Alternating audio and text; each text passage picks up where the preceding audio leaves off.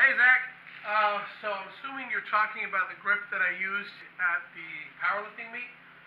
I'm pretty sure it was in between the first ring and the end of the knurling. These days, I almost always just stick with close grip, but I'll show you what I believe I did in the powerlifting meet. Uh, RPS one. So pretty sure the one you were asking about was this one.